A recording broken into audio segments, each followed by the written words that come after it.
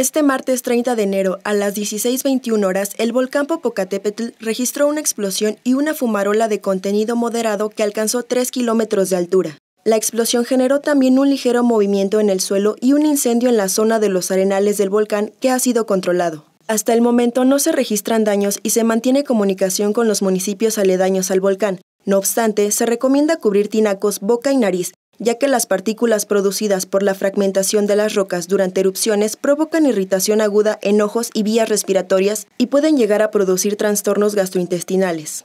Del mismo modo, se recomienda mantener a los animales de compañía en un lugar techado, además de cubrir cisternas o depósitos de agua para que no se contaminen.